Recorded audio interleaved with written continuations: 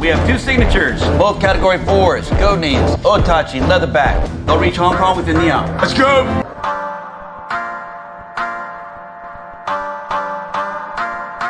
This is casual kill.